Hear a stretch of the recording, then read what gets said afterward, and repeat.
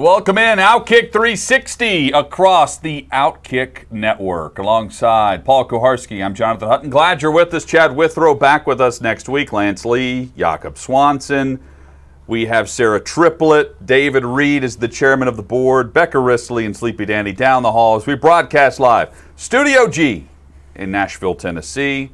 Blackbird Studios and the blackbirdacademy.com is where we are live each and every day here across the Outkick Network. We hope that if you're watching on YouTube, you'll hit the subscribe button, you'll hit the like button, give us the thumbs up, and that you will ring that bell so you're alerted every time we go live each and every day for the show. Paul and I did not plan to match today, but we do celebrate Easter on July It's the already 1st, been pointed out. a couple of days before we celebrate our country's birth. Paul, good morning. Fourth of July is coming, but uh, we're looking for jelly beans today, and they- they've not been provided. Reese's, Reese's. eggs, Reese's eggs, but nobody is bringing us the Easter food that we crave.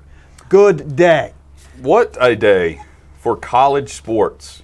July 1st, 2021 is what we're going to remember because of name, image, likeness and the transition from old to new.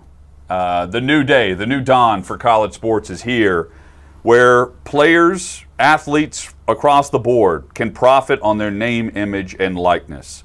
Something that the lapdog media from years ago would say would never happen and that the NCAA was made of amateurs and that's how it should stay. How quickly those same people are now turning their opinion around based on today's announcement. And we knew this was coming, Paul, um, all except for the NCAA, based on how they've set things up, because for all of the regulations, all the rules for college sports and college athletes and what teams and and and universities must adhere by. No regulations really for this. They they have a waiver that's intended to hold things, be a bridge until there's either a federal legislation that will cover NIL across the board, across the country, state to state, or they have passed a more permanent NIL rule. But right now, it, it's pretty much up to the university to go by whatever state guidelines are in place. And that means it's open season. They are open for business. McKenzie Milton, uh, D'Eriq King, they have teamed up in Florida. The quarterbacks at Florida State and the quarterback at Miami, they have teamed up. They have formed Dreamfield, which is an agency for NIL, current players putting their names with an agency for name, image, likeness, where a player or an athlete of any sport in Tennessee, in Indiana, in Montana, they can call up Dream Dreamfield and they'll take 15% off the top of all profits, but they'll set you up for an autograph signing, they'll set you up for an endorsement, and you have an agency working for you that's been in the works for over 12 months. And this by two quarterbacks in the same conference. This is where we're headed, and it's going to be huge because I think companies now that can afford an NFL player might be able to afford a college sports athlete. And I think the the different paths you can take is endless with this. It's it's a very interesting day, and I'm interested to see how the whole thing pans out. But I I uh, I also wonder if, to a degree, where our expectations for it are over the top. I do think, you know, obviously for the big quarterbacks, the Heisman Trophy candidates, program-defining players, is going to be big. Um, for uh, more middling players at big programs, certainly it's going to be big because it's going to be a way that boosters find ways to uh, benefit and lure people or serve people that they've lured to the program. Um, but I've already seen a lot out there about, hey, now go out there, kids, and create your personal brand. And I think for, you know, the a kid who's not scoring touchdowns, creating your personal brand is a little bit overrated if you're not your personal brand has to start with being a good football player and and playing good football i think and uh, outside of these people who want to help you right there are going to be a certain population at certain universities who want to help you. They're going to come find you. But in terms of your going finding them, this create your own brand thing. You'll remember we did uh, like a seminar with, with college kids who wanted to be journalists. And some of the people on the panel were telling kids, go, go create your personal brand. And I was saying, nobody gives a shit about your personal brand until you have something to offer, right? If, if you're a kid with an opinion on the Yankees, nobody cares about your opinion on the Yankees until you've done something. That's why you have to build it. Right. And that's Well, what Olivia Dunne, a gymnast at LSU, has done. She has 1.1 million Instagram followers, 3.9 million TikTok followers. You think she's going to profit off of her NIL? Absolutely. How did she get those followers? She though? built her own personal brand with what? with her own name, image, and likeness. She Yeah, built her own personal brand on social media, Right, but and she not- didn't follow your advice. But you, yeah, but you're not giving me the information I'm looking for. I bet there's some good gymnastics involved in it. I would say there's great Instagram and TikTok posts involved in it. I'm sure there are. But the reason that she got a foothold, I'm guessing, is because she was good at gymnastics.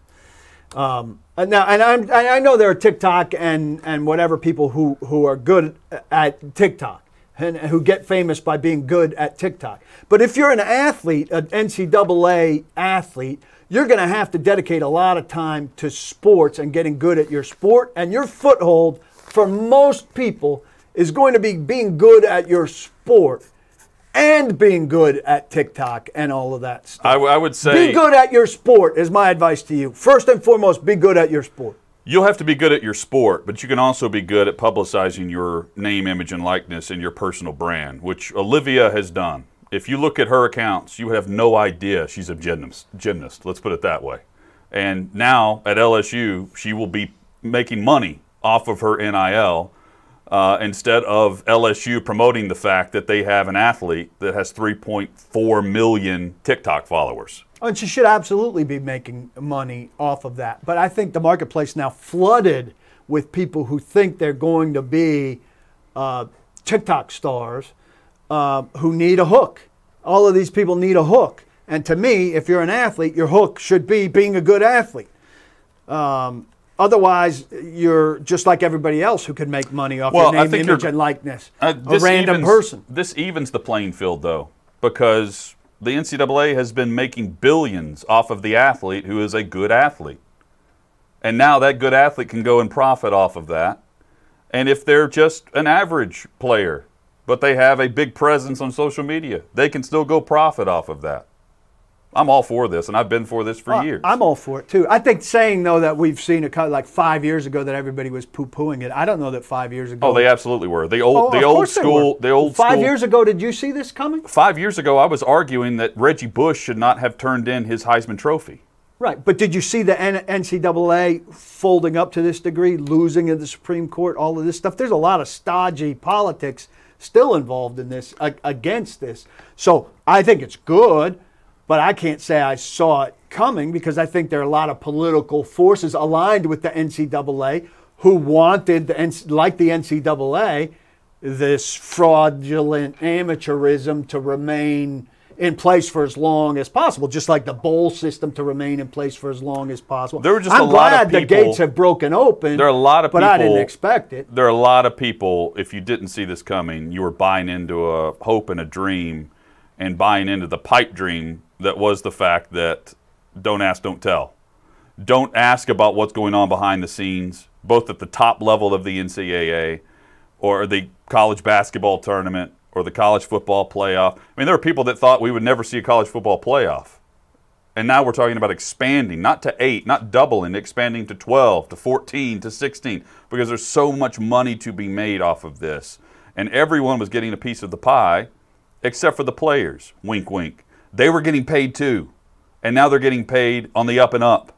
That's how I view this.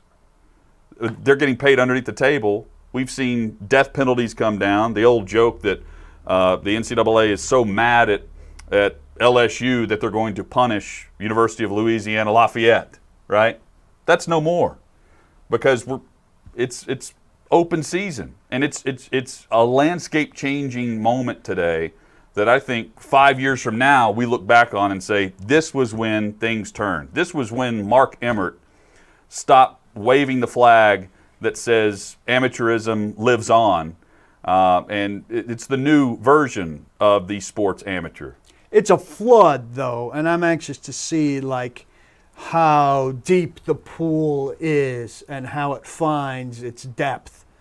Um, it's going to be an interesting time. I'm curious how long it takes for the pool to find the depth and for maybe a company to say, oh, Yeah. we overshot on how many people we're interested in, or for kids to say, oh, you know, a certain level kid to say, oh, I thought I was going to do a lot better.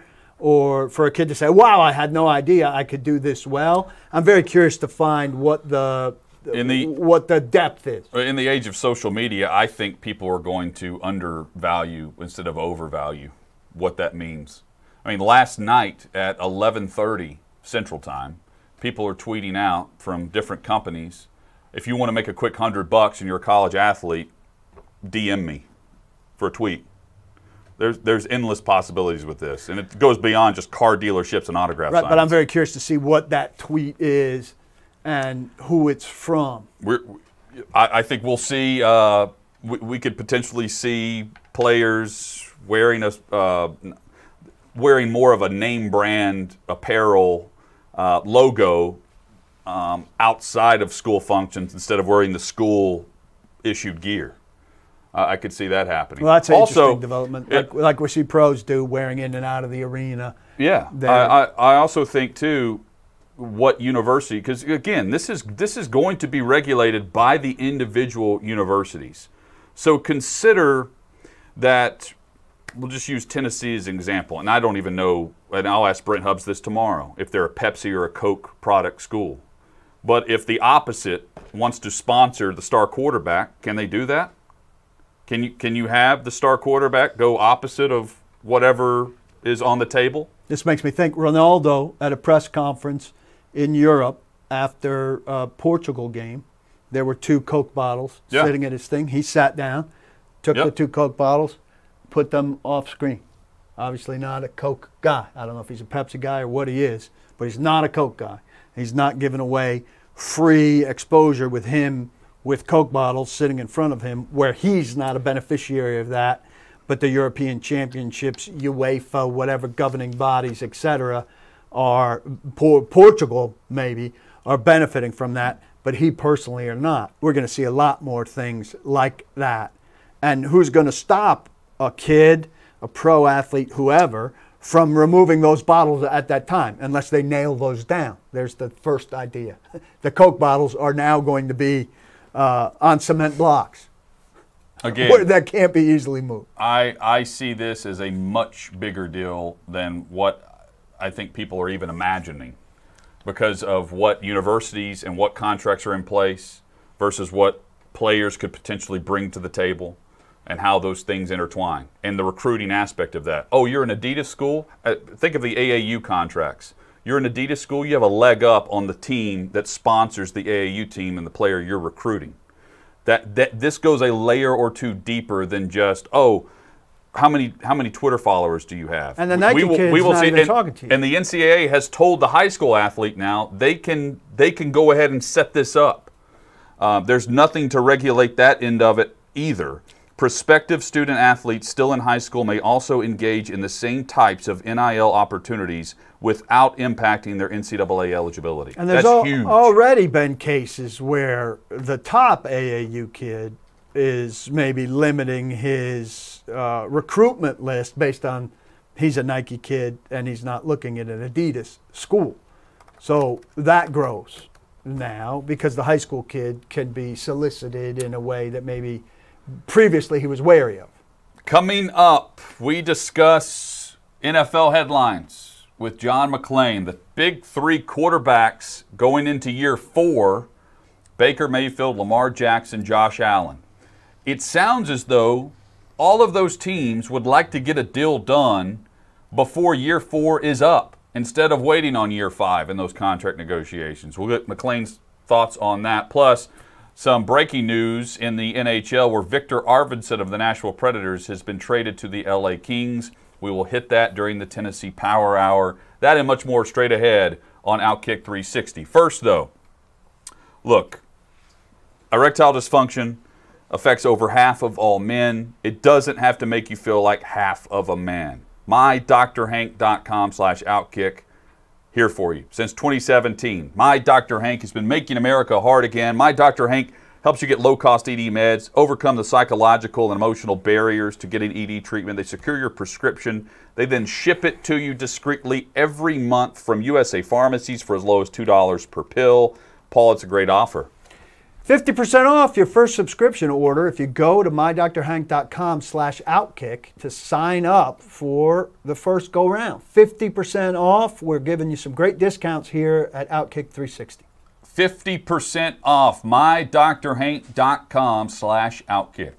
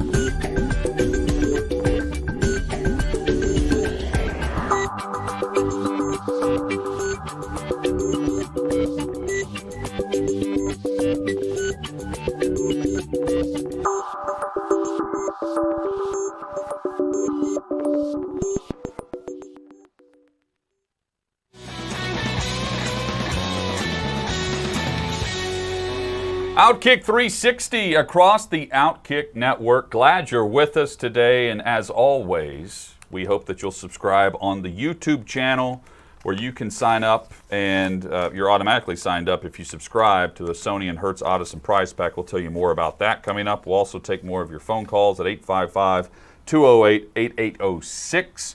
Right now, though, we turn our attention to the NFL. NFL headlines with John McClain, who has covered the NFL for more than four decades. He joins us from Houston, where you can read his work at TexasSportsNation.com. John, hope you're doing well. Jonathan and Paul, I'm doing great. Hope you guys are too, and I hope all your viewers and listeners have a great fourth. Absolutely, same same to you. Uh, I had a great weekend this past weekend. I sent you a video of this. Uh, for those that don't know, John is a, he's been in several films.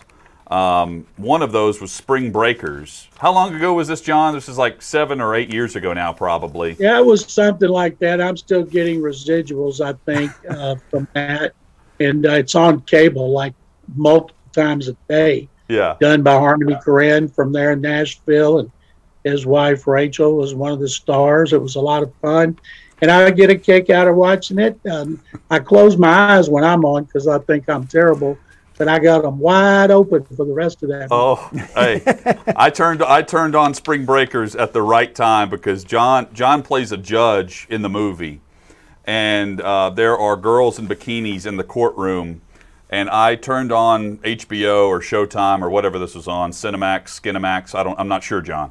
Uh, I I turned it on at the right time, right as John McClain was having his speaking role, talk, talking and addressing the courtroom and so I pause it, I video it, send it to John late Friday night. He responded Saturday morning with, uh, "I really enjoyed filming that scene," and I would took us nine hours, nine hours to film that scene.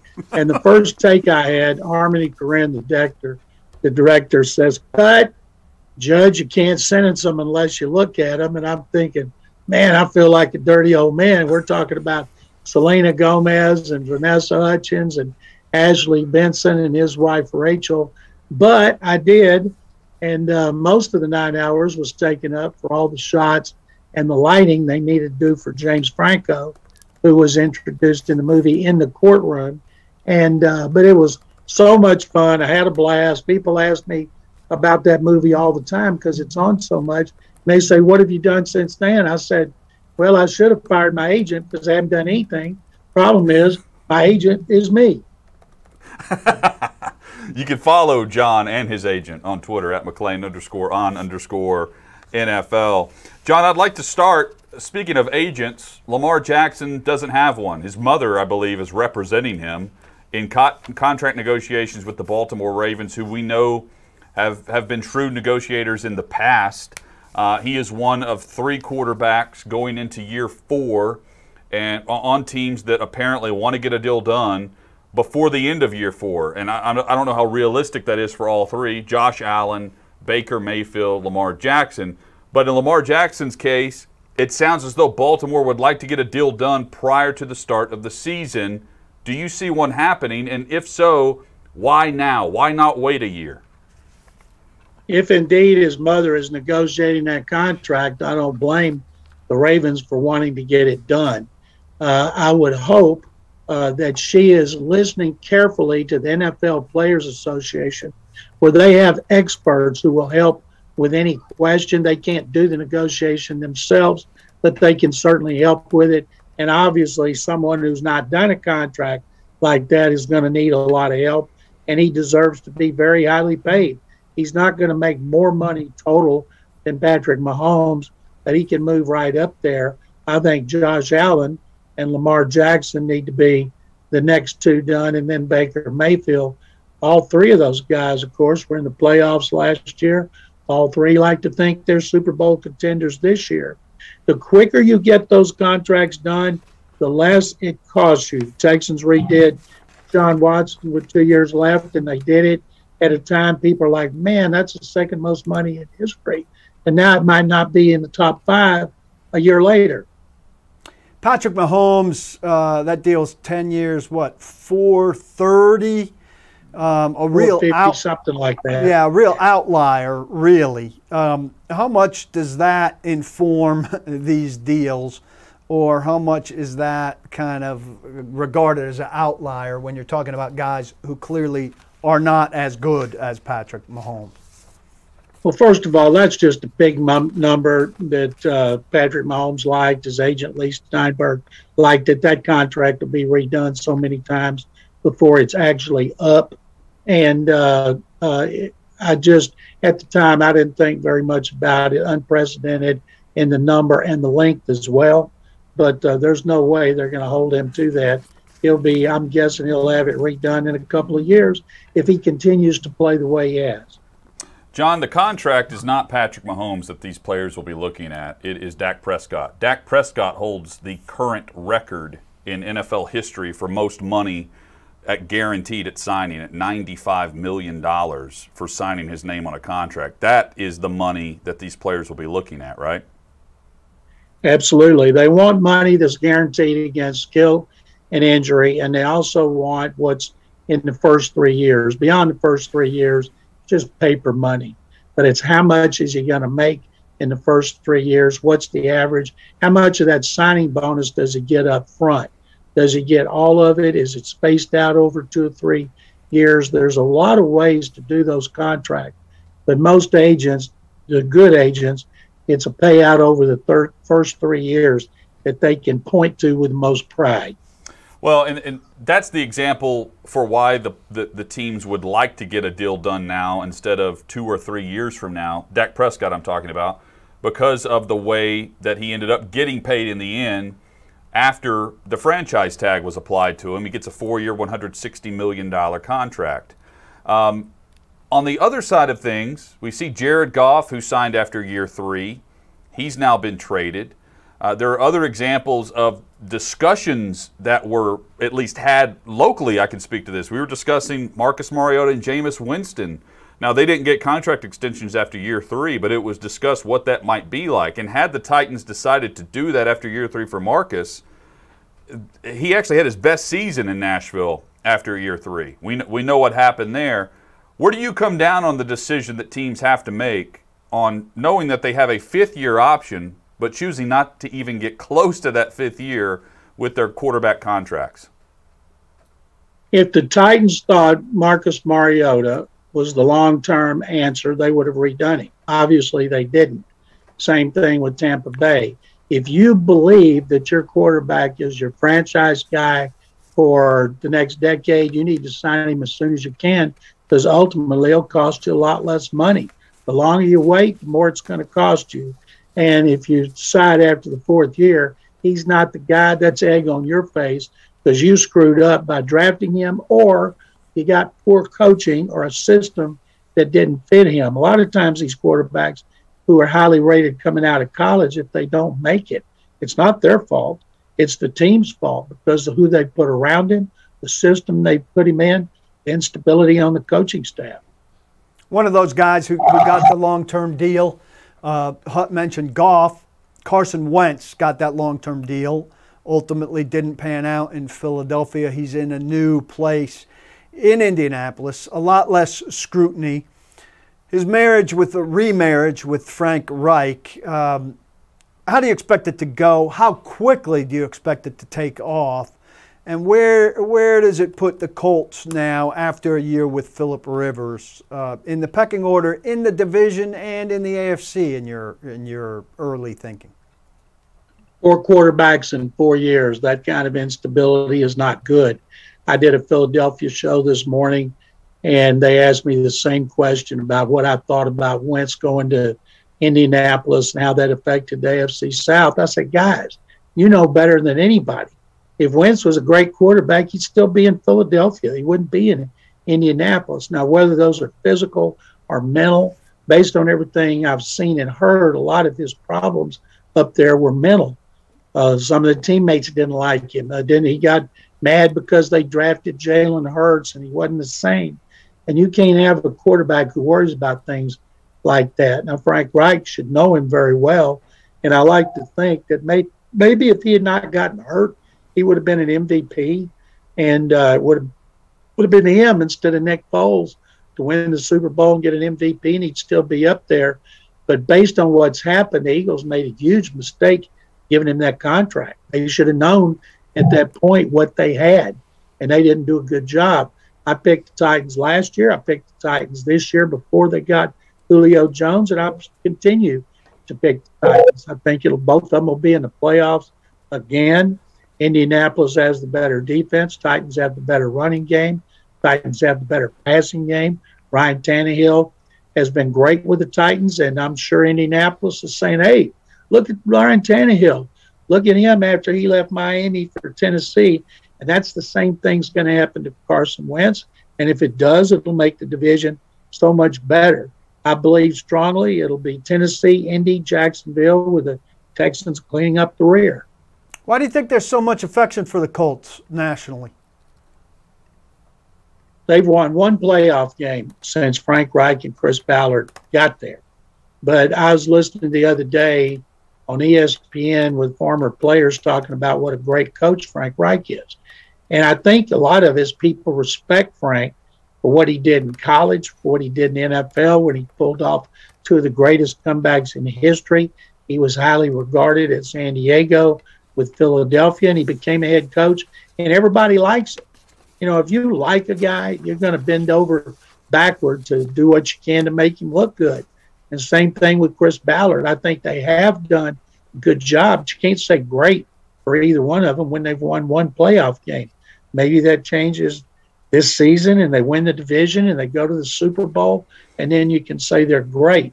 But to me, I'm going with the Titans who won more playoff games two years ago than the Colts have won since Frank Reich got there.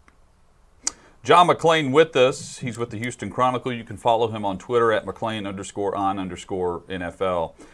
John, speaking of Philly, Zach Ertz uh, is on the, the trade market. That's been no secret this offseason. The Bills continue to be mentioned as a potential landing spot. They have Dawson Knox. They have also added uh, Jacob Hollister to that group. Why do they need Zach Ertz? I think that they think they can get him cheap, not financially, but what it would require. They need to worry about their running game.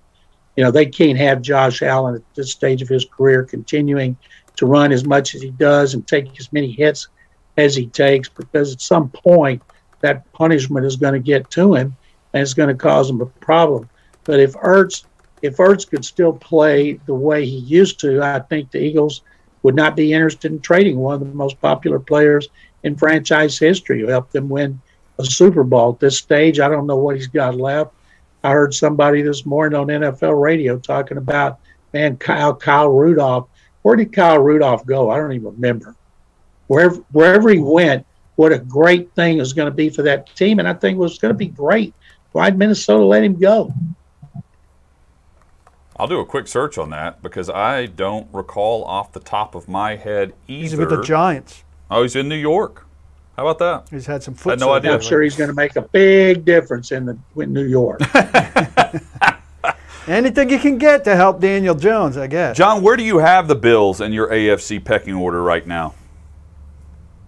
right now, of course, I have Kansas City as the number one team, and uh, I think the AFC is stronger than the NFC. I think the AFC North is really good. I think the AFC West is the best division in football. I think the AFC East is two teams, Buffalo and Miami, and then, of course the AFC South. And I'd like I, in Cleveland, I want to believe in the Browns. I want to believe in the Ravens. Other than the Chiefs, it's wide open. Hmm. I would say, based on what the Bills have done in the last two years, which is get improving the play in each of the last three years, I'd say they're the second best team. And it's within Baltimore, Tennessee, uh, both of those teams. I think, and I'm sorry, I said the AFC West. It's the NFC West that I think is the best division in football. AFC West not very good after Kansas City, but I think Buffalo would be two, and I say Tennessee and Baltimore would be right there with Cleveland. And a team that I think will be good that other people don't seem to think so is Pittsburgh because I think Najee Harris is going to give them a running game. I think he's my pick for offensive rookie of the year. They were last in rushing. That's not going to last long. It depends on all the changes they made in the offensive line. I don't believe in anything in the AFC South beyond the Titans, Colts. Don't believe in anything in the AFC West after the Chiefs. In the East, you got Buffalo, maybe the Dolphins if Tua Tagovailoa becomes the quarterback they thought he could be. And then there's the three teams from the AFC North, and it's going to be fascinating watching them jockey for position to see who is going to be the most compelling competitor for the Chiefs. John, uh, I'm just thinking of this. Otherwise, I would have given you a heads up on this question. And I'd, Paul, put your thinking cap and your memory cap on for this as well. Tom Brady admitted, to no to no one's surprise, that he's not honest in press conferences. He says 90% of what he says is BS and not really what he's thinking. Again, that's no surprise. That's the majority of players and coaches nowadays. Over your years, and go back as far as you want with this, John, who have been the most honest players that you've talked with on a weekly basis, on an annual basis, whatever it might be? Who did you feel like you could sit down with and they would always shoot you straight on the record? Back in the old days, and I'm talking about when I started covering NFL in the late 70s and then in the 80s, players were more likely to speak out. Word didn't spread as fast. If you heard a player say something in, say, Cincinnati before they played the Oilers that was controversial, there's no social media to get it here. And you would have to have a reporter up there call you and say, hey, here's what Ross Browner, defensive end of the Bengals, said about the Oilers. So this is what Bruce Coslet, the offensive coordinator, said about the Oilers, or Sam Wyche.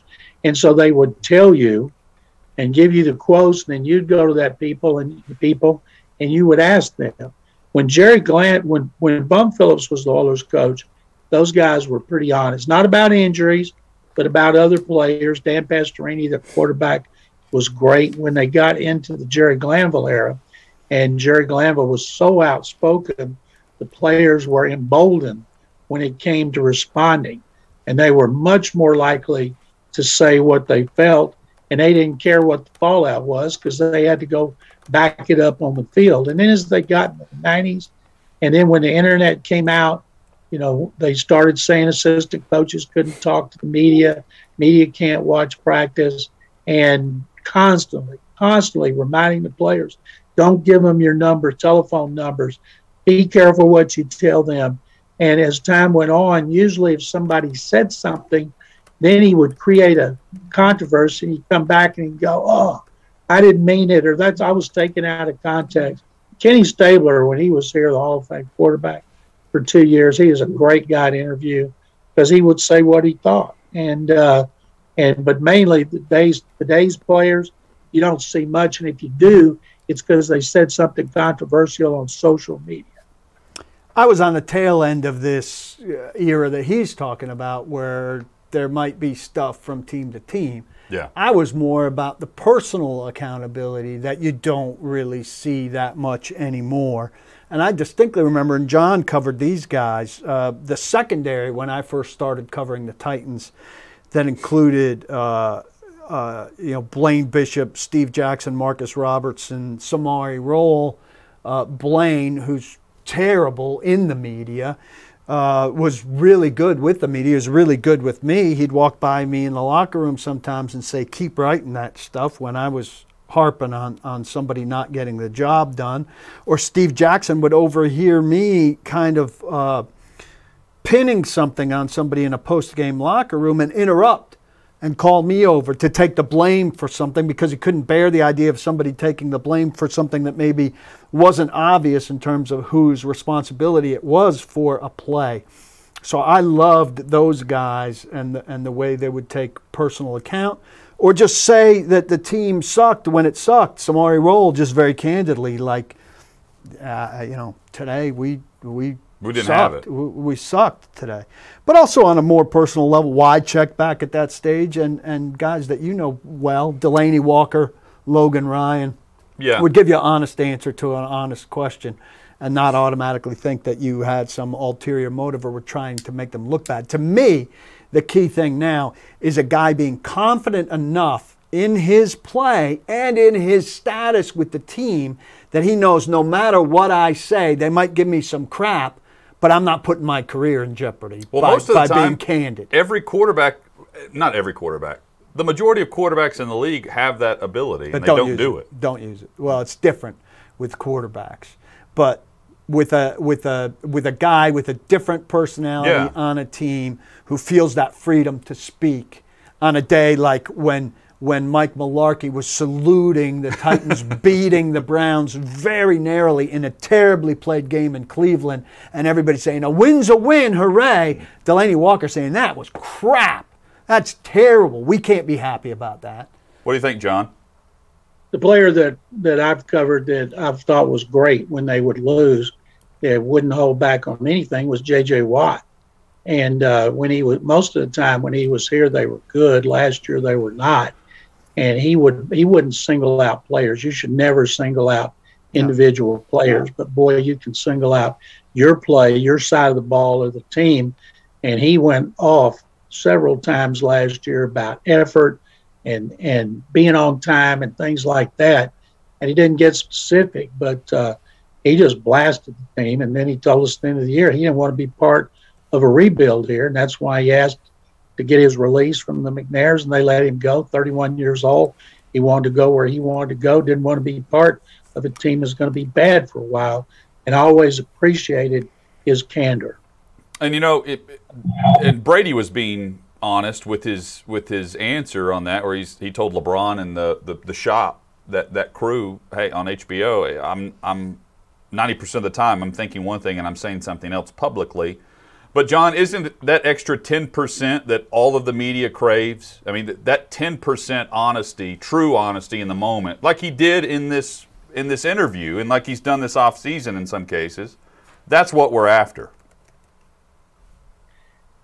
Yeah, you'd love to see that on a more consistent basis, but most no smart player is going to do it, especially a quarterback who relies on so many players to make him look good. I've always thought the quarterback is the leader, the highest paid player. He should take the blame for every interception, even if the guy ran the wrong route or the ball went through his hands.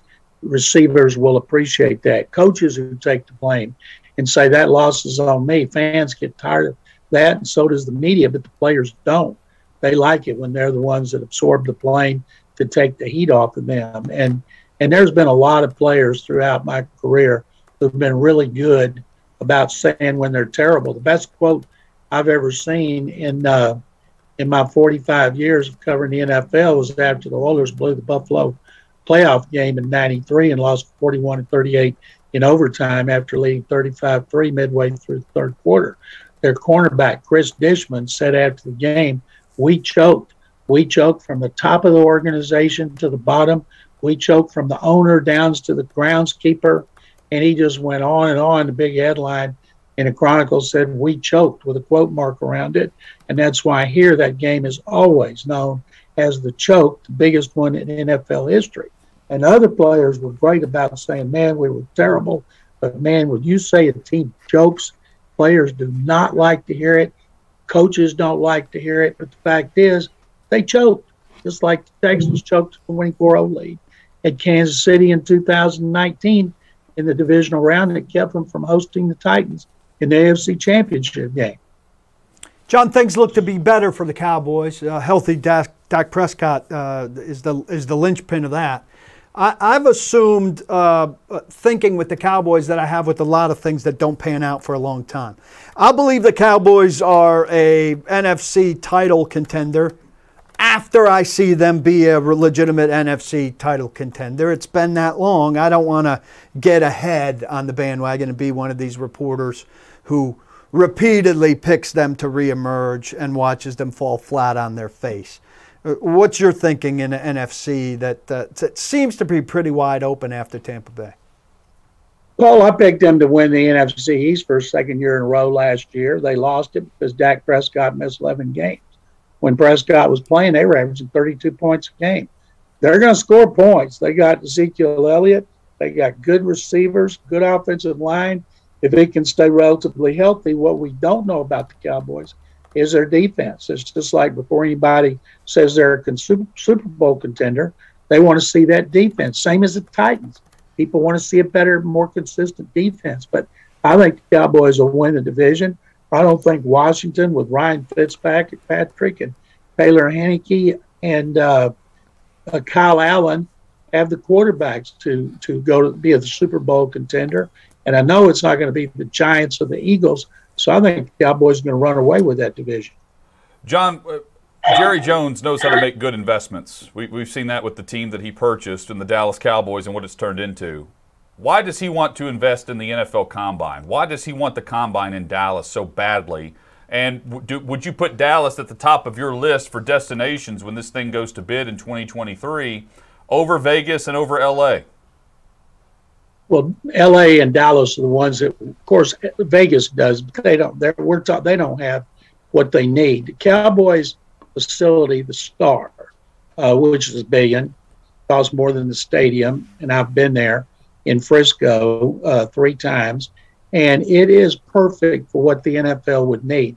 At the combine, the only time you have to get in a car is when they take players to the hospital to get physicals in Frisco, they've got a hospital right there in the complex. They got a big Omni Hotel right there in the complex. They have outdoor fields. They have an indoor stadium that would be perfect at that time of year because they can have ice storms. What they don't have is an opportunity for everybody to walk everywhere from their hotel to the facility, like in Indy. Then at night, everybody can walk to all their restaurants and bars afterward. And if it gets too cold or snows, they can use all the crossways on all the streets. Plus, it's centrally located. I've been to every combine since it went to Indy. I think I can't remember it was 85 or 87. And LA does, it's got a lot in that new complex, but it doesn't have all that. And of course, you'd have to rent, everybody'd have to rent cars in LA, they'd have to rent cars in Dallas, and they'd have to rent cars in Vegas. So Jerry has been after it the longest. He wants it for two reasons. Number one, uh, to stroke his ego because Jerry loves things like that. He'd get a lot of attention. But number two, he'd find a way to make some money out of it. And we all know Jerry Jones loves making money.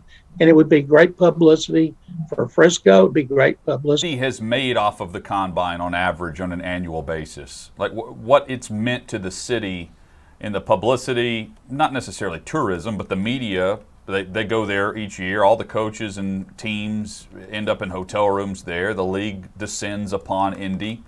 I wonder what that's worth value wise annually. Well, it's enough of an economic impact for them to come back and bid to keep it because yeah. they get a lot of events there because they do such a fantastic job with those events.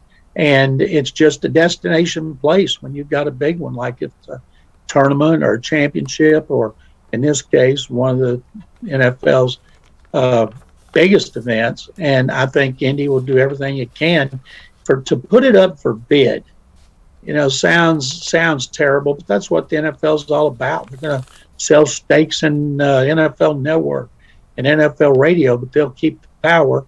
And and I think this, uh, if they leave Indy, there will be a lot of people who will regret it.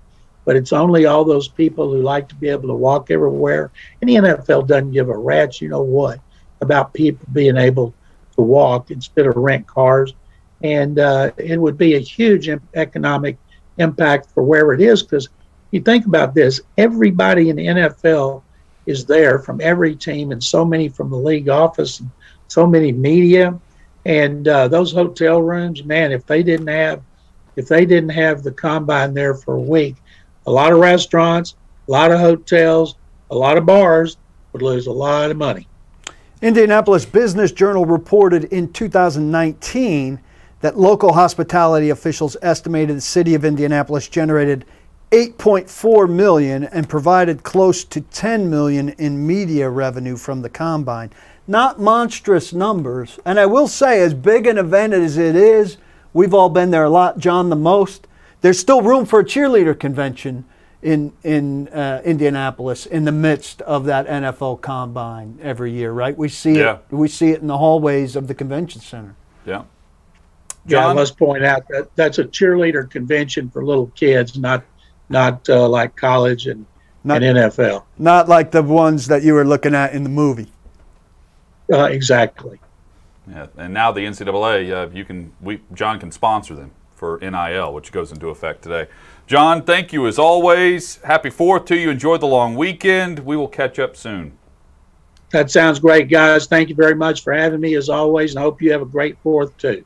Thanks. Thank you, John. Those numbers surprise me. They're, me too. They're low, and I, I and if you're bidding to that's what I'm it, saying. Like, and uh, if you're yeah, so what's it worth to Indy to continue to bid up against Jerry Jones, who's going to outbid whoever steps to the plate? I mean, Jerry Jones would, would bid more than twenty million dollars, which is so. more than those two numbers added together. There's a report. We'll get to this coming up about what teams are worth right now versus what they're going to be worth by 2030, and they're, they're to me, if you're investing in the combine coming to your city and all of these different things, if you're investing in NFL Network, uh, let's discuss the value of teams. Yeah, uh, the, the sports betting and gambling that's going to be taking place. that will naive. be at the combine too. I'm kind of naive to how the gambling affects your uh, bottom line. I mean, is it as simple as people are betting a ton at FanDuel? FanDuel is advertising through the league and it all circles back. Is it that simple as to how it adds value to your franchise and to your league? We'll discuss on Outkick 360. Hang with us.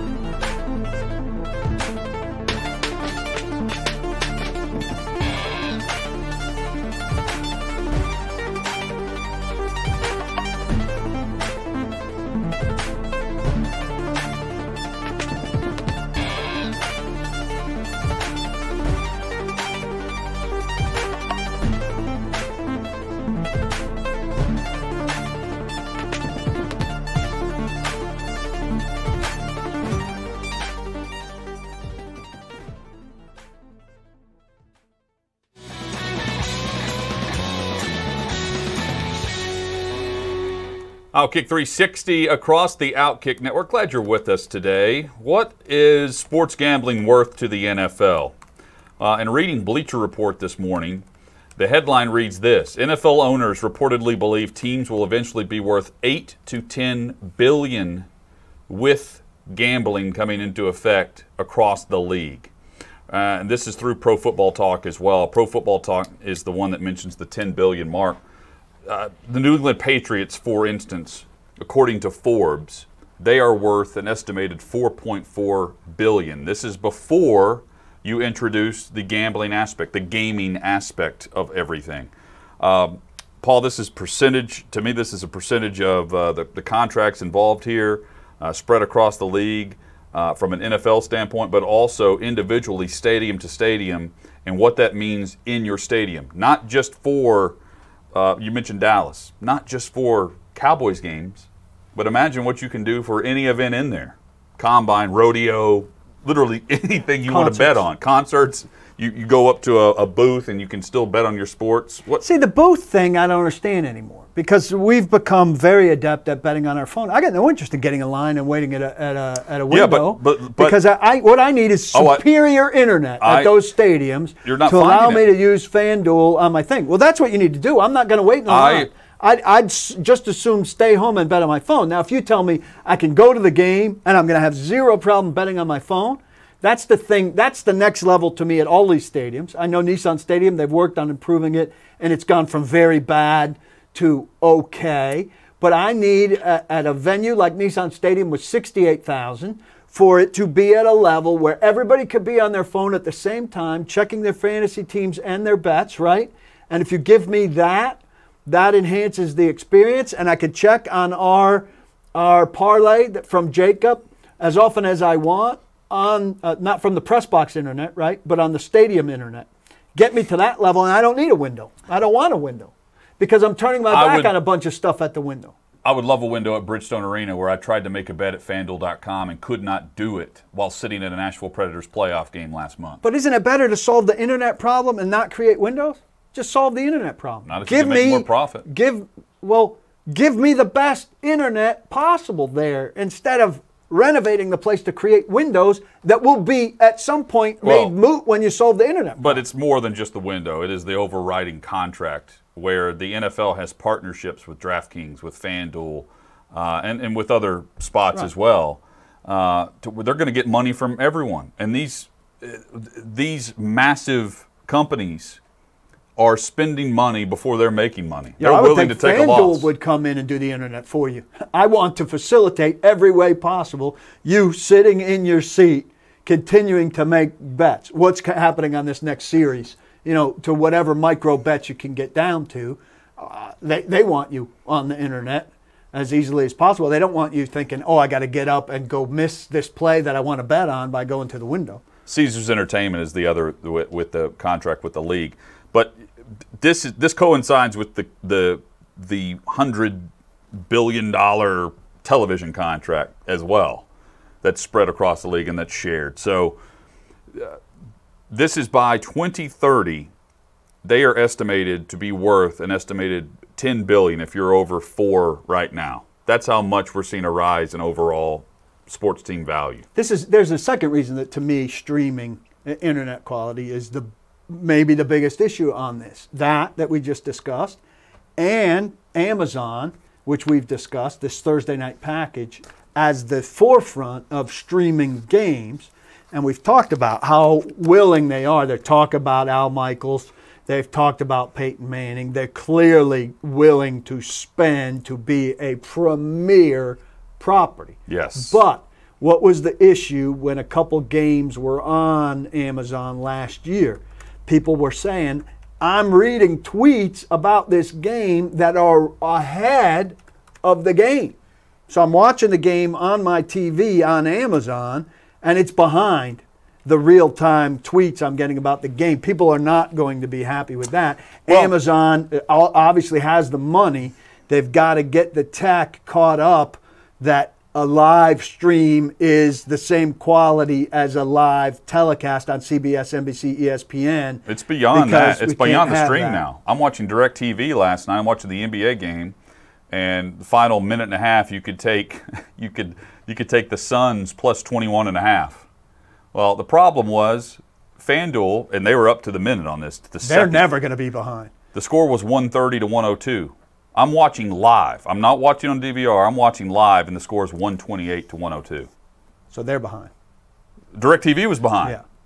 That's I a problem. It, that that's they are even that extra second, that extra bucket factors into whether or not you want to take the 21 and a half over under in the final minute and a half. Yeah. So if you're a serious better, you do not want satellite. You want you want a me. Who's the fastest? Cable is the fastest. uh, right. FanDuel is the fastest. Uh, that's what it tells me. I don't I don't care what you're watching. If they're at the game, they're getting it before you are. Right.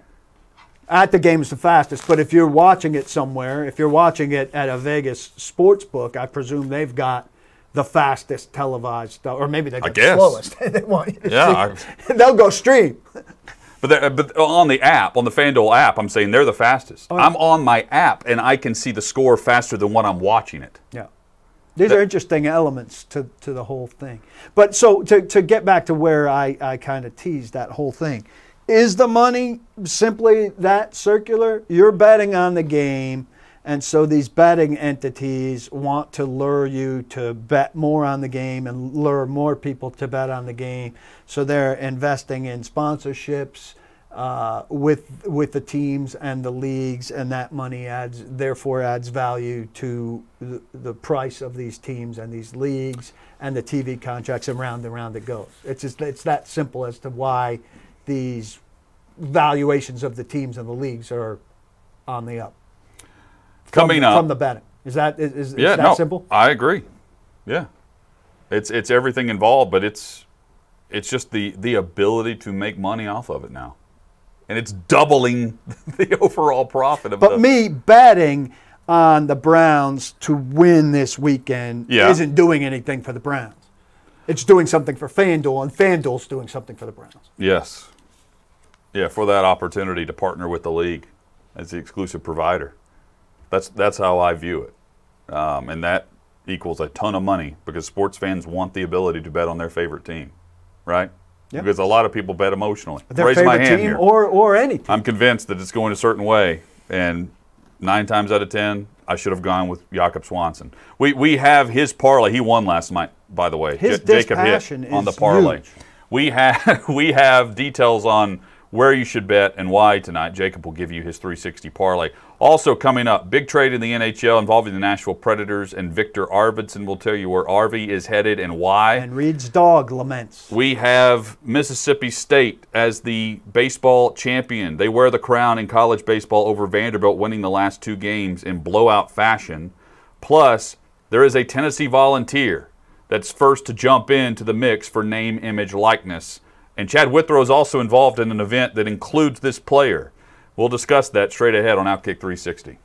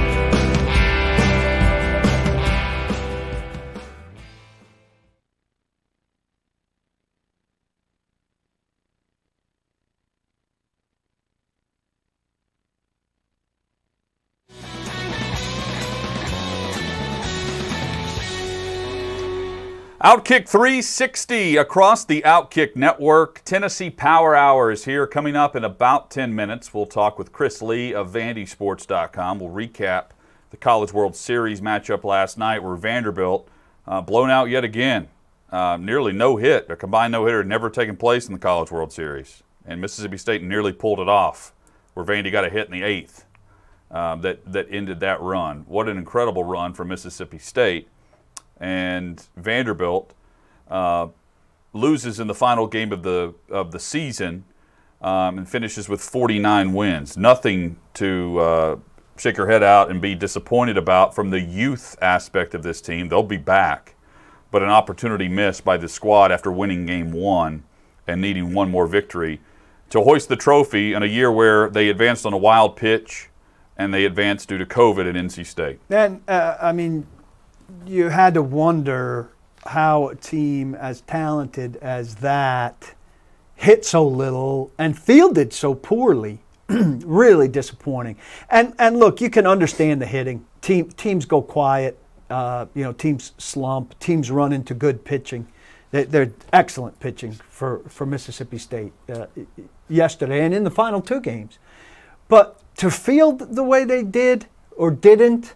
Um, fielding slumps are not really a thing. And it, it really felt like, I don't know if they pressed or how they got away from the basics the way they did. I'm looking forward to Chris Lee's uh, information on how they got so far away. Yeah. If you're going to win a College World Series, you're going to have to field well, plus, uh, you know, and, and they didn't. Uh, and I, I, was really, uh, listen, I'm not uh, following them religiously by any means, but I turn on a Vanderbilt baseball team at this time of year. Uh, I expect it to, to be making plus plays, like the play we saw on Monday night uh, with Vaz coming 150 feet from right field to slide and make a play near the wall. Not to see the second baseman yesterday just having a ball go off the heel of his glove, and inexplicably he's kind of shaking his head and being like, I can't believe that I did not make that play. And that's what anybody who's rooting for Vanderbilt last night is thinking on multiple plays. Like, how are they failing to make, you know, Simon's coach says, make the routine play. And Vanderbilt was not making some routine plays um, last night. That was the main disappointment. Now, they weren't winning that game if they made the routine play last night but I would have felt a lot better of them if they had gone out at least making the routine play. Coming up, Chris Lee, VandySports.com. Big headline in Nashville today. The Nashville Predators trading Viktor Arvidsson to the Los Angeles Kings in exchange for two draft picks. Those draft picks, a 2021 second round pick, so they get a pick this year, and then a third round pick next year.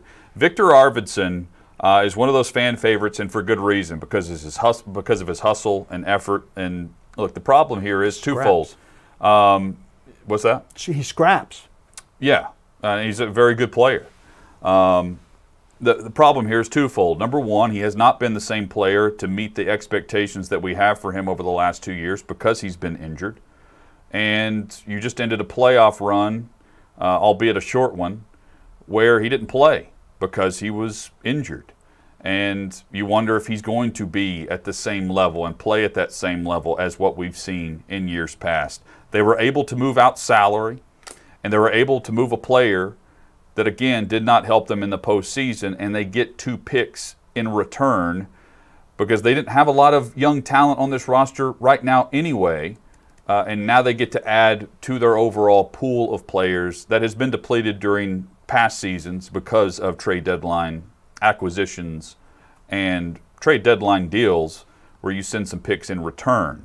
Um, it sounds like Eeli Tolvanen is one of those guys that will be asked to step up and fill that role. He has a long way to go to do that. Um, this was, you know, one of the fan favorites, a great personality, um, a core guy. But here's the harsh reality, and what I have said and Paul can vouch for this, what I've said for years. At some point, you have to look at the core and wonder is this core good enough? Or do we have to shake up and change the core pieces in order to make a run? And this is one of those moves, and I, I brought Arvidsson up as an example. Was Poile, David Poile, willing to make a difficult decision, a difficult trade, based on trade value? And there are some players that I think they, they may look at and hope that the Kraken end up acquiring, like Duchene. Do you leave him protected or leave him unprotected? That's that's a question. Or do you make a that deal we'll learn soon. for them to take him? Uh, either way, you're begging for him to take take on Duchene because he hasn't been the player that you acquired or that you signed, right? Uh, in this case, Arvidsson met those expectations when he was healthy. The problem is he hasn't been. The Kings are betting on he will be, and the Predators needed to change up the core pieces in order to take a next step. I think it goes beyond the health too. I think the injuries have added up to him slowing down, and speed, uh, his, his ability to to use that. He's a small guy, but fast, right? And I think the cumul- uh, the accumulation of the injuries has led to, on the occasions where he is healthy, he doesn't have, or he's not entirely healthy. He doesn't move as quickly as he used to. He's, he's getting older. He's due $4.25 million this year. he's not a $4.25 Right. million dollar player They're able to move anymore. that you're, salary. You're paying him for what he was, not for what Well- he's going to be. Seems like a good deal to me.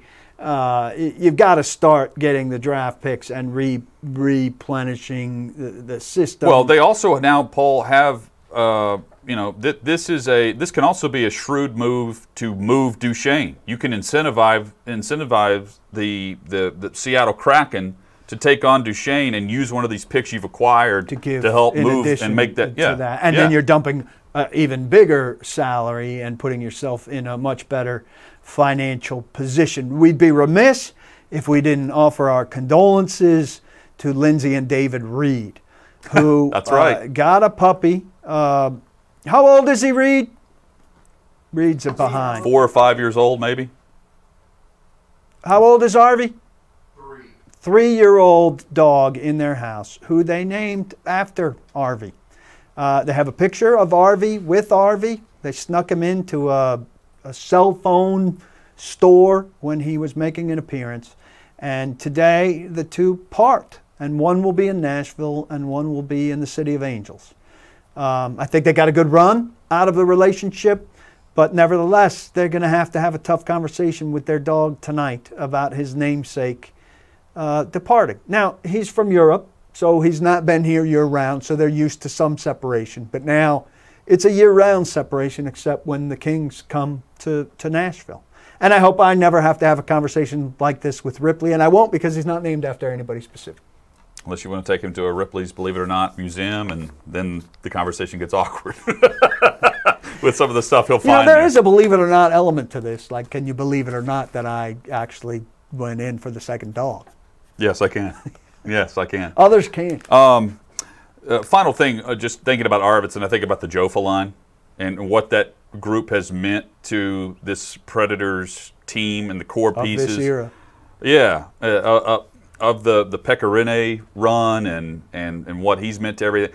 The Jofa line, though, keep in mind, has not been able to stay together over the last two seasons due to injuries. Like that's that's also a harsh It's reality been in taped this. together when it's been. Uh, but. Arvidsson's going to go down not just as a fan favorite, well, one of the best to put on the the Preds colors. I very mean, influential player. And, Yeah. and people will remember him fondly, and they should, and they should, and they need, like you're saying, if it's Tolvanen or whomever, there's a big role to be filled there. Unfortunately, Arvidsson himself hasn't been filling it, and that's the reason they're making this deal. 25 points in 50 games uh, this past season, and again, did not help them at all in the postseason.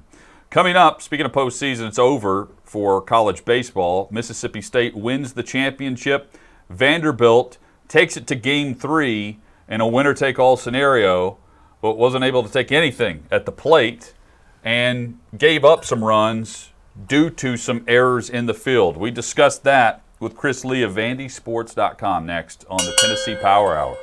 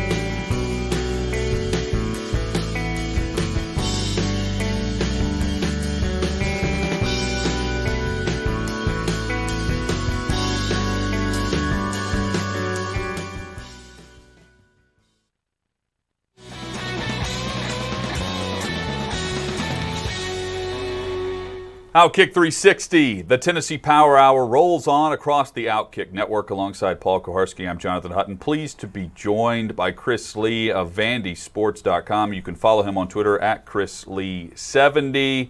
Uh, the Commodores lose in Game 3 of the College World Series last night. Mississippi State takes home their first team championship uh, and hoists the trophy at TD Ameritrade Park. They do that in blowout fashion on back to back nights. Chris, hope you're doing well. Really enjoyed your coverage at VandySports.com throughout uh, the, the College World Series and throughout the calendar year, the sports calendar year for Vandy. Are you are you more surprised at the lack of production at the plate over the last two nights, or the errors in the field for Vanderbilt? I think the errors. Uh, one thing I always tell people if you don't watch college baseball, don't watch in February and March. Watch in May and June when teams are clicking on all cylinders. And I don't think that any program or coach has figured that out more than Tim Corbin. And so to see them go to Omaha and defend the way they did was a little bit alarming because they usually lock it down on defense more than any team out there. And so to see them lose games well, I, I won't say that lost in games necessarily. The bats factor too, as you mentioned, but to see them perform the way that they did uh, was unusual. I've, I've, covered a lot of Tim Corbin teams, and I've never seen one that, that got worse in that regard as the season ended. But that's kind of the way it happened. What did Corbin say uh, about the decay of of the defense as things went along? Well, he didn't say a lot. And one thing that was interesting last night, we had asked him questions about particular players and health, and I'm sure he was not talking about it because it's probably a little bit of a competitive advantage. But after the series was over, he mentioned that Carter Young was about a five or a six on a scale of one to 10. Carter just locked it down defensively all year. And then about five, six weeks ago, he steals a base in a midweek game. His shoulder comes out of socket, and he comes back a couple weeks later.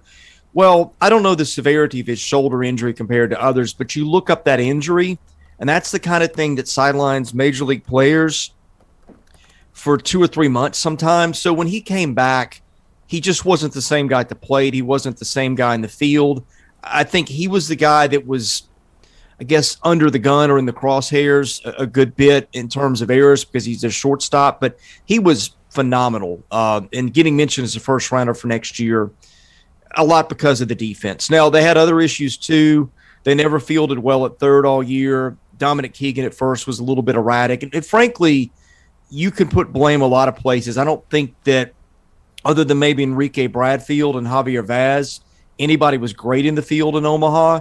So it wasn't just on Carter Young, but he was kind of the one who was the focus of a lot of that attention because his defense all year had been so good until Omaha. Um, and it was alarming to see, but I think there was a little bit of an explanation. Plus, this is a team that, frankly, I don't think was used to playing baseball that deep into the season.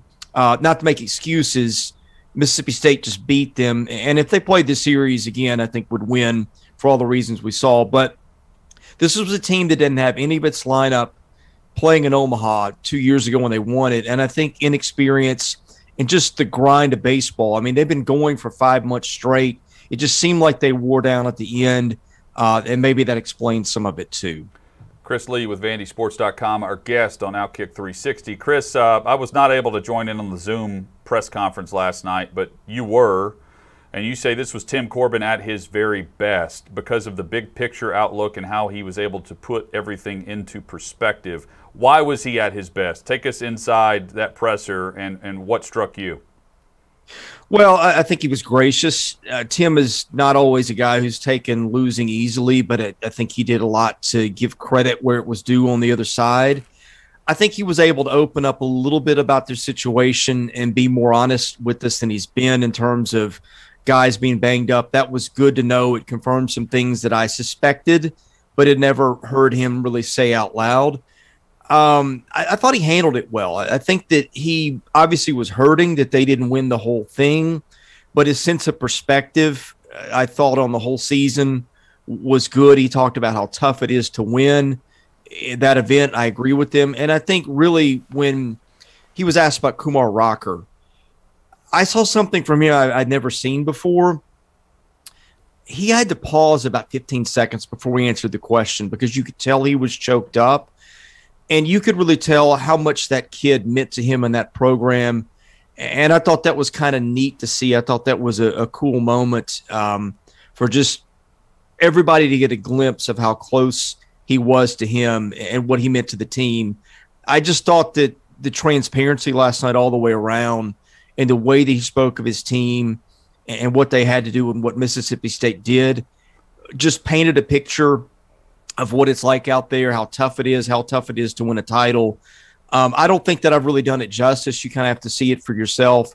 But I've, I've been through hundreds of those with him, and I've never seen him quite like that in one of those.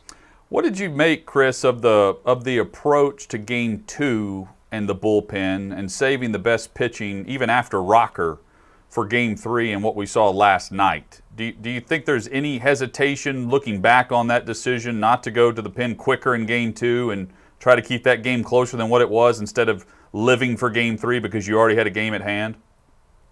No, that was the right call. Uh, they have about five arms that they can trust right now. Uh, one of whom, well, two of whom didn't pitch very well last night.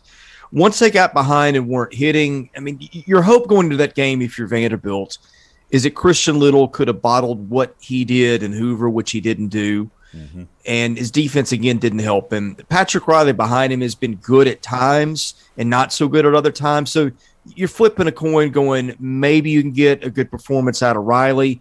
That didn't happen. I thought as soon as it went bad and they got down four or five runs, I'm thinking, you've got a pretty good shot throwing Rocker on another day's rest. Uh, he was more rested than Will Bednar at Mississippi State. You get to save all your arms. You get to maybe bring Nick Maldonado back after him throwing Monday. I thought it was the right approach. It just didn't work out. We know what Rocker has meant to to this team, to that program, what he meant in 2019 as a freshman and what he did on the mound in that moment and all the great performances in between. How do you describe what Rocker what, what he meant to the Vanderbilt baseball program, how he will be remembered and put in perspective for us if you will what Corbin is thinking and we're guessing here, but he's holding emotions back as he pauses for 15 seconds. Is he viewing him as the greatest player to put on the Vandy boys uniform in a way? I think he might. I think he's got a case. Um, I, would have to look at it, but I think he's got a really good case. Uh, and especially if you consider if 2020 goes through, right? I think he's going to have another dominant season. You're looking at three All American type years, or maybe maybe two All American type years and a College World Series MVP in another. So there's that. Um, you know, I watch pitchers in the league a lot, and you see a lot of kids who come to SEC ball who were first, second round level picks who come in in the first year they struggle. And what Tim said last night was dead on. You don't do what he does as a freshman, and you will see it here in a couple of weeks. You'll see some college kids who were picked in the first round or two, and you'll go back and look at what they did as freshmen and sometimes sophomores, and you'll see maybe a five or a six ERA in there in a lot of cases. It's really difficult to come in and not just pitch as well as he did, but don't forget, he saved their season a couple times in 2019. They get beat, what was it, 18 to 5 by Duke in a super regional. He comes back the next night in a game where they lose, they're going home, and he pitches a no hitter. And then he pitches two good starts in Omaha and gets College World Series MVP. That's not something you see a lot out of sophomores and juniors, and you sure don't see it as freshmen. And I think that's just what made him so special. The way that he was able to come in and be dominant right away. And it's a shame. I would have loved to have seen how 2020 played out because I think he would have accumulated a stat line – and just a body of work that we're probably sitting here today saying, yeah, he's the greatest that ever wore that uniform. He didn't get most of that season, so he didn't get to really accumulate a lot of those numbers. It is what it is, but I think Tim summed it up really well after the game last night. Chris Lee of Southeastern14.com and VandySports.com with us. You can find him on Twitter at Chris Lee70. How's this team stand for next year? Obviously, everybody's going to pay the most attention to Rocker and Leiter getting drafted and going to the next level. Um, but but what's left behind, what's coming in, and what are going to be reasonable expectations um, for for a team that that now everybody's going to kind of come to expect to, to make a World Series charge annually.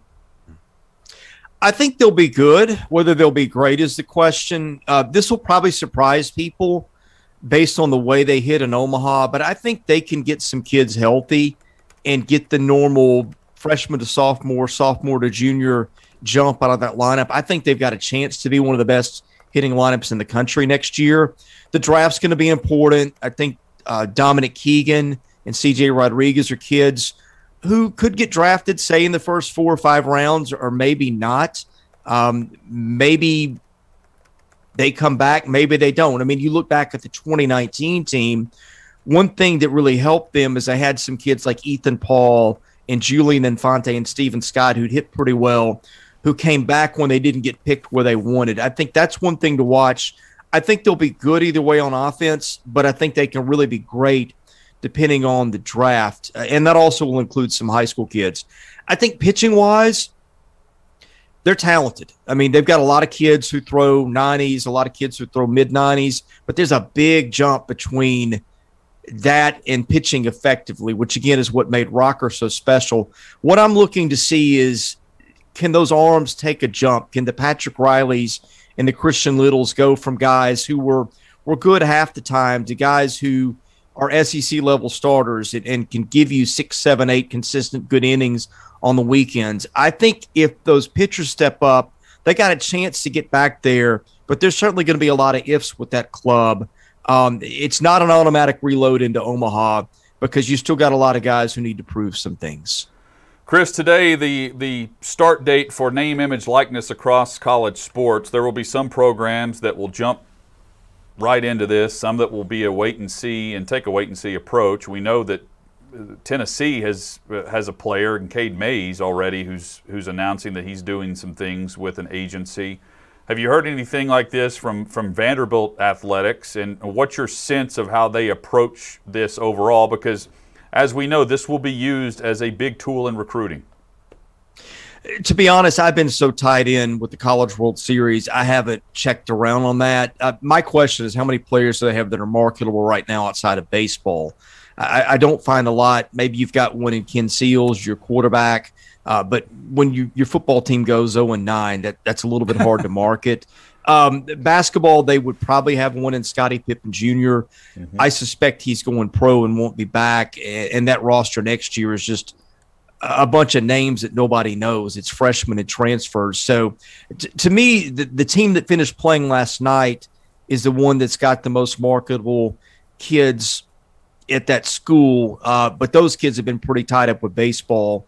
I think that's probably been the last thing on their mind. But in my mind, if you've got somebody that's worth an endorsement deal, it's Enrique Bradfield Jr. or, or any number. Uh, I guess you'll see Leiter and Rocker go. So they won't be Vanderbilt athletes here in a couple of weeks. But to me, all the marketable guys were guys you saw on that team last night. Chris, did you get any sense that the the way the weekend played out for the Commodores played a factor in anything that they did this week once they made it to the final series? That the, the, way that the NC State stuff went down over the weekend was there a, a mental lapse or, or a, a, lack of energy or something there? We know they won game one. Leiter was mm-hmm. very good. Uh, they hit the ball and they hit it well right out of the gate. Um, so maybe we can't just point to that instance, but it, do you think there was any lingering effect from what happened on Saturday morning? Well, I think the short answer is they were just going to get beat, right? Okay. I think you look at how that series played out. Um, you had to have Rocker and Leiter both throw well. You had no margin for error otherwise. You got one out of two, and, and I think the better team won. Now, I will say this you carry a lot of weight being a Vanderbilt player. And just wearing that name on your jersey breeds a lot of expectations, which isn't necessarily fair to some of those kids because they haven't been a part of those title teams. They didn't get a season last year to get experience. So they got thrown to the fire right off. And you look at the background where they come into this, right? You've always got the, the stuff about the Whistler, and a yeah. lot of people hate them for that.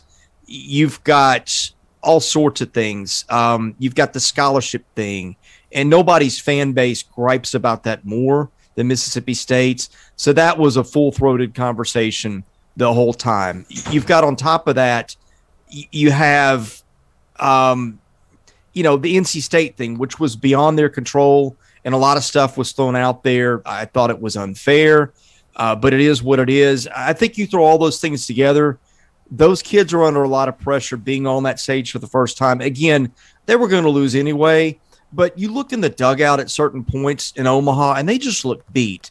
I'll give you an example. The Stanford game, I went into the kitchen to, to grab a snack and I'm just sitting there thinking, how do I tie in the story of the night with the story of the season that they just got worn out?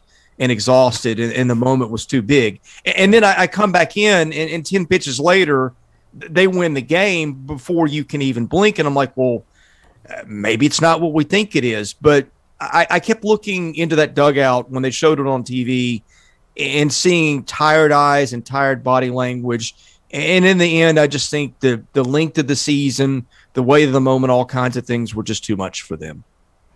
And Mississippi State is a hard team to not like watching them play in the series, right? Yeah. I mean, no matter who you're rooting for, you felt good for them uh, and and the dog pile at the end of that game last night. Yeah, they had a lot of things. They have personality, first of all. You know, the Landon Sims, the Tanner Allens. They strike me from afar as, as pretty good kids and pretty good representatives for that school. And you've got Rowdy Jordan and Tanner Allen, who are just, I don't know if they had a baseball Mount Rushmore for that school. You got a lot of faces that could go on there. Will Clark and Rafael Palmeiro being maybe the biggest two, but those guys never won a title. And mm. Jordan and Allen were kids who started for them in Omaha uh, in 2018 and 2019. You got Landon Sims, their ace reliever, who would have been the best reliever in college baseball if not for Kevin Kopps. You got Will Bednar, who's a first rounder who threw great last night. Um, that was a likable team in my mind. Um, you know, you're happy for those kids certainly to see them win it and that's a fan base that the you know the title. Speaking of carrying weight around, the the title, the best program without a national title, is a lot for people to carry, and I think that team bore the burden of a lot of expectation and hope, and that's a tough one to wear too. But I thought they did it with class and, and with style and a lot of success, and hats off to them for doing that. You can follow Chris on Twitter at Chris Lee 70 vandysports.com. Chris, uh, get some rest, man. You've, you've got uh, a little bit of time here before camp and before college football kicks off, uh, and what will be a, a, crazy year to say the least. Uh, with packed stadiums again, at least we hope that, that that's where we're trending and what's been announced. Uh, that's what I'm expecting. And then, of course, the name, image, likeness, and, and the free for all there, which is going to be fun to follow no matter if you're for or against, because we have no idea what to expect in that regard. Yeah, there's not much of an off season for us anymore, especially yeah. with baseball getting to be a bigger thing. That's that's set of us on a lot of beats. But um, yeah, it's time to recharge the batteries between now and fall camp, and it'll be here before we know it. Hey, great perspective today. We we appreciate, we appreciate the time. You bet. Thank you. All right, Chris Lee there, vandysports.com, the website with great analysis and uh, insight on Vanderbilt season, uh, but beyond that, gearing up for the college football season and the SEC slate. I, I think there's there is value on some Vanderbilt football players uh, locally. And Paul, just because they're one of 14, they are one of 14 SEC schools. That carries some value in and of itself. Maybe not what Alabama what Alabama is going to pull at the quarterback or running back or defensive line position. I know it's asking a lot. Uh, you know, I wonder if you could like dream up an example for Vandy, non-quarterback, uh, coming off 0 and 9. I, I, think Clark Lea could probably, uh, but though that's not going to be you know on the front of his desk with all that he's got to deal with football wise. I'm sure Clark Lea has people because he's hired very yeah. intelligently. Um, Barton Simmons would be one of them. Yeah. Right. But I, uh, yeah, it's part of a recruiting pitch. Yeah. Certainly. But um, you know, I well, think that some schools, yeah, some schools uh, would be s- slower than others. I'm very yeah. curious what Vanderbilt will will do with it too. It's kind of a seems like in some circumstances a hurry up and wait. kind of uh, environment. In some cases, and you know, and in other cases, it, it can be So hurry up and hurry. yeah, uh, player by player, right? Like um, we're we're seeing at Miami, at Florida State, Mike Norvell at Florida State. They've they've already said like Florida is. uh, They've made it clear the state of Florida NIL and what the state regulations are. The really none. Come join us. You know, be a quarterback in the state of Florida. Be a running back, a wide receiver in the state of Florida. Stay in the state of Florida. Uh, it's a huge recruiting pitch for them. At Tennessee, we're seeing where Cade Mays is teaming up with a local agency, um, where Chad's going to MC an event next week in Knoxville, Old City Sports Bar, where we we held our orange and white pregame party, our tailgate party. Uh, great venue, and it's just a Q&A to learn more about name, image, likeness, and how you can profit as an athlete, or uh, you know how universities can help in that regard. If you're a fan and you're interested in just learning what it's like, or a potential sponsor, you can go there and learn it. I mean, it's crazy to think that's where we are, and today's day one of that. We've talked about this for years from an NFL perspective. The the NFL brotherhood, right? Everybody wants their guys to make money, Yeah. right? Yep. I did. Uh, I think it was when I, I was a stringer for Sports Illustrated, and they had a year where they had guys play video game head to head, Uh, and Bullock played somebody. So I went to Bullock's place, and I wrote the Bullock side of a you know small little thing Yeah. about him playing somebody. I can't even remember who it was, but I always remember the the salutation with those two guys was symbolic of what the league was, right? Stay healthy and go get yours, right? And those were good then. They were good for the generation before them. They're good for the generation now, right? That's what guys wish for each other. Stay healthy. I don't want any, to see any anybody get hurt, and go get yours. It's a short career. We want you to make every penny you can, and you want me to make every penny I can. It's good for everybody, right? I wonder, and we're going to talk about all kinds of permutations of this whole thing. I'm sure that there's a general feeling of go get yours, right? But are we going to have the haves and have-nots here? On not Alabama, probably it, it's taken Maybe. care of, right? But on a, a, a more middling Power Five program, what's the jealousy factor going to be for the very good offensive lineman who's anonymous and the quarterback who is reeling something in and getting himself not just money but the profile that comes with the, doing the things that earn you the money. Are you thinking hey that's great. Yeah, hutton i'm really happy for you. Buy me a burger Yeah. or the beer's Well- on you tonight. Or am i thinking we're on the same team pulling the same rope. Coach is talking about all those things. And here i am still scrounging calling home for some extra money. And here you are. I'm the guy blocking for you, making sure you're not on your ass. You're living a pretty different life than I'm living now.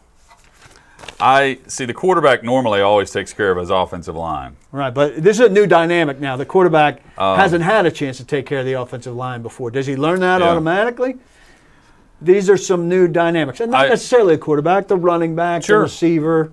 Yeah, no, I, I, I think you, you tend to take care of, of the guys that are working up front for you. You know, how much you're your making. Are you making enough that and what's taken care of? You know, there are all these Yeah. permutations to it. Well, you mentioned the video game. I could totally see where players, uh, athletes, or you know, a kid pays to play against you know one of the star athletes at a school. You know, online like that. That's wide open now.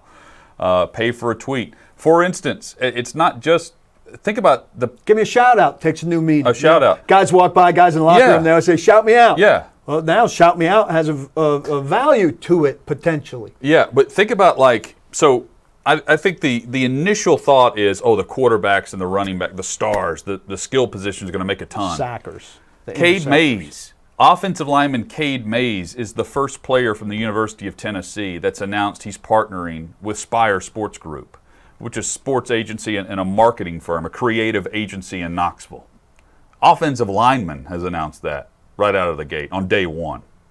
So if that's the case, and, and we're seeing it from, from other players across the country, there's a player at Illinois, I believe, maybe it's Iowa. I can't remember what I was reading last night. Right at midnight, it was announced.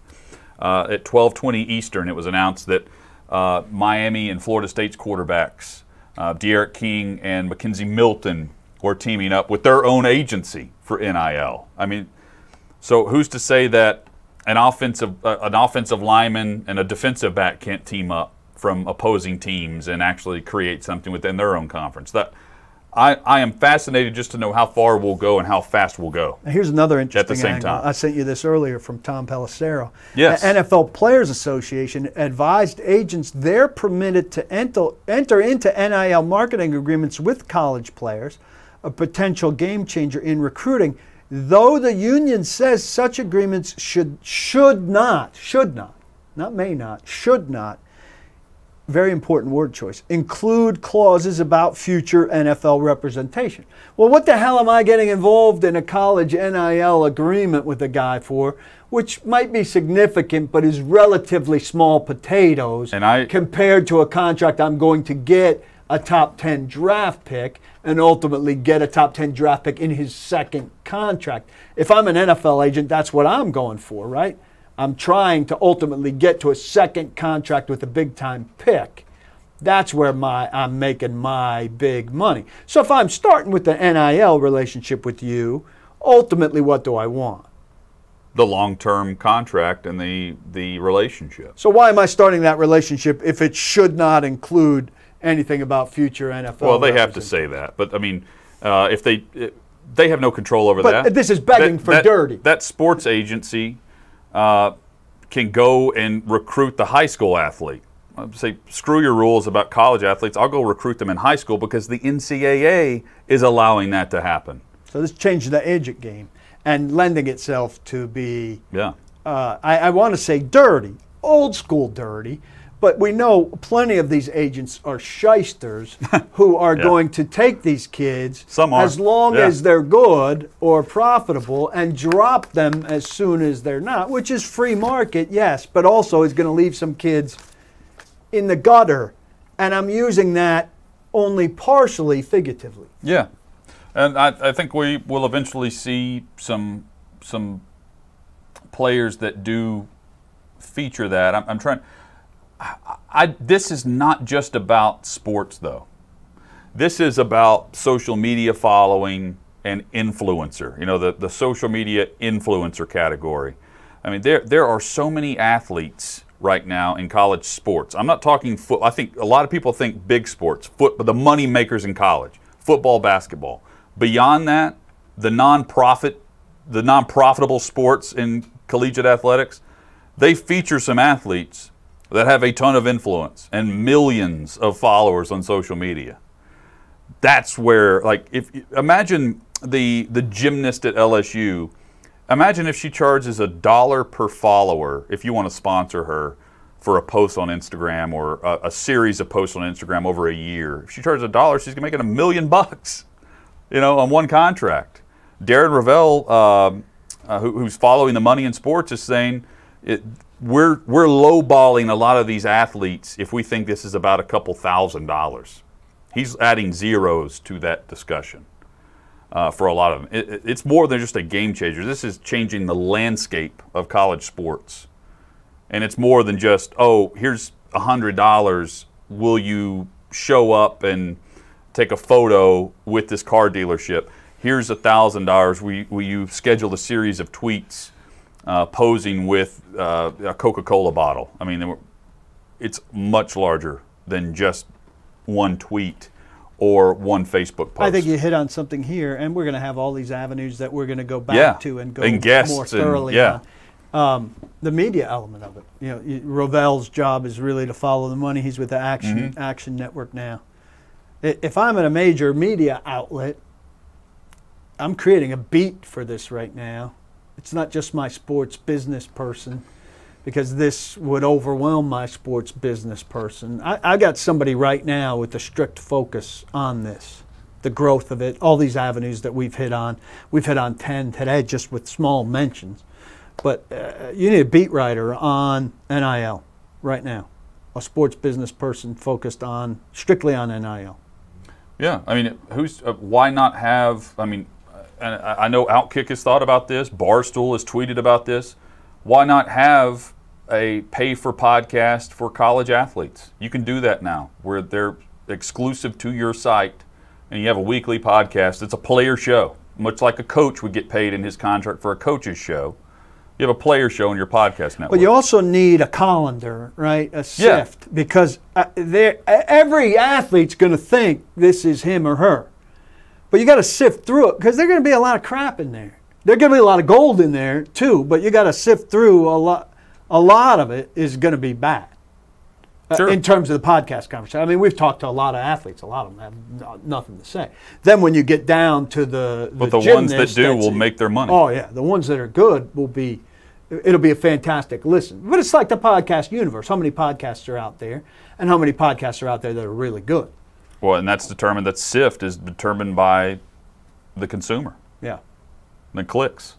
But at the beginning, when you're overwhelmed by a billion podcasts, Mm-hmm. who's doing the sifting? Uh, the market does, but it's going to take some time because if there are a million new podcasts, it's, Well, it's a way that's- to that's whittle it down saying. to the hundred that the are sift good. is taking place by the visual aspect that you can have an influencer in college sports now that's not even in football or basketball that has 3.4 million TikTok followers. I mean that that exists and now you can go and specifically target that demographic if you so choose. yes. Um, and I'm you- interested. if I don't want to be part of the sifting. I, I want the the final. When it gets down to the hundred, I'll I'll scan through the hundred. I don't want to be part of scanning through the million. Well, but the the big corporations will take over those 100, Yes, Absolutely. you absolutely, know. absolutely. And then and then and those hundred are going to be and then you decide okay, fantastic. okay do i want the uh, josh reynolds titans wide receiver is doing an autograph signing where they're charging like eight dollars for verification of his autograph this weekend or next weekend Just eight. eight dollars for the certification like the, the verification that he was physically there uh, then it's like $25 per item after that or something but i'm thinking okay are are is that agency going to pay Josh Reynolds now as the third wide receiver on the Titans roster, or are they going to the University of Tennessee to target Knoxville instead of Nashville? Like that that's been off the table until now. Right. I'm just curious how you What approach that, yeah. what the demand is for the player And- that's not been able to do it. And then you're on these scales. Like I'm curious about the fandom. You know, you might be more passionate about the University of Tennessee. Yeah. But the Titans are going to be far better than the Vols are. Yeah, but the agency is going to bet on the player becoming a draft pick and that autograph meaning something down the down road. the line.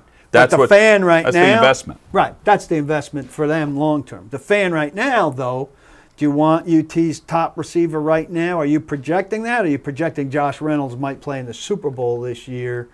Uh, you know, all, all these things. uh, We got all kinds of scales and levers and stuff like we've been talking about. Is it going to be a font for But us? as we know, the college fan much more loyal yes. Passion. to their rooting interest. You say, I get this guy at the ground level. It's also like buying a stock. You know, the Josh Reynolds is a little bit of a stock because he's new too. And, and while, while there are some passionate NFL fan bases, if we're just going to keep the, the discussion strictly to football, there are some passionate NFL fan bases. There are weeks and moods for college football fans that are determined by the result on Saturday. Like if you win on Saturday, your week's going to be pretty good at work. And if you lose, you're going to be in misery until they kick off again. Does the following fantasy weekend. come into play here some way, some in, in a way that it hasn't before? Was NIL a factor in, in college not having fantasy, or is it just because there are too many teams? Like if you did a uh, an all college fantasy, or would a SEC fantasy league be more interesting to people? That's not national enough. It's not broad enough the way the NFL is. that's I'm intrigued by that. I don't know. Let's see. There, there's another avenue to this. Um, the NCAA is not policing any of it. Because that's another thing. I They're think leaving it up to the university. Pulls people to an NFL guy, right? You're on my fantasy team. Yeah, so you I keep up with them. Yeah. Um, but how many? How how is the NFL player profiting off of fantasy football? Oh, he's not. He's taking abuse for it. More than, more He's than taking anything, a- right? But it does lift his trashed. name. It does lift his name. Oh yeah, it- his brand grows. about him all his the- his brand grows. Coming up, uh, let's let's discuss the brand of an NFL safety in Kevin Byard and the decision of how he was deployed within the Titans defense last season compared to how he should be used moving forward. Paul wrote about this. We'll break it down next on Outkick 360.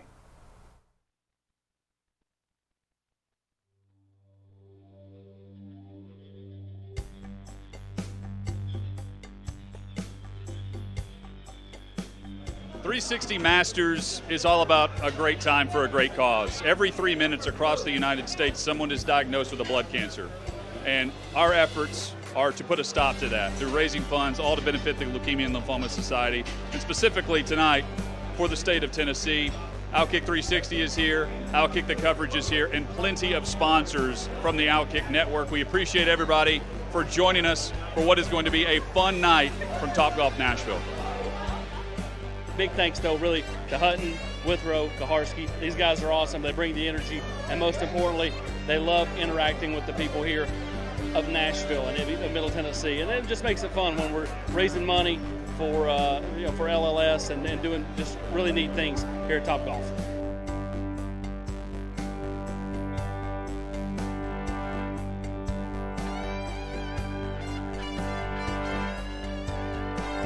Jonathan Hutton came up with this idea of the Outkick 360 Masters a few years ago before this show existed. That's how much foresight he had. We're going to raise a bunch of money. We're going to knock out blood cancer. And uh, we're going to feel good about it while we have some drinks and hit some golf balls. It's a tremendous idea. So, look, here's basically the way that I live my life. I knew I wasn't going to be the best guy out here golfing, swinging a club. So I just made sure I was the best dressed, the best looking guy out here. Somebody had to do it. We knew it wasn't going to be Paul. We've seen Chad's shoes. It had to be me. Been waiting to break this shirt out for about 18 months now. Thanks a lot, COVID. But it debuted today. It's a big hit. Best dressed guy out here. What can I say? It just happens sometimes.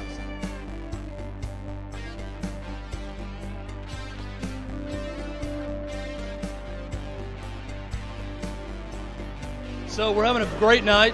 We're raising money to fight cancer, Leukemia and Lymphoma Society. Big props to Catfish Jake and his efforts to be Man of the Year for LLS, and also Jonathan Hutton, who's done a great job.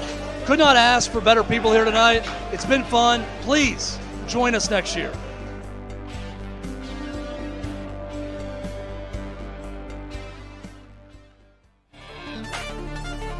Making it rain and changing not lives but lines. It's our daily parlay Outkick 360, and it's Jacob Swanson that changes and shifts lines in Las Vegas because the man wins parlays. Our biggest win as a, as a group, 85 bucks on a three-leg parlay last night. That was a preposterous parlay. Uh, ridiculous. And that, that that's the beauty of the whole And he thing. won. We found a dispassionate sports sportsman who uh, is willing to go against the grain. And listen, when you win the $85 one, that gets you off the hook for all of these losses. Not you, Jacob, because you've Us. been winning. Us. Us. By you, I mean us. Uh, Jacob, you have the honor of going back to back with parlay picks yet again. Second week in a row. It's returned to you.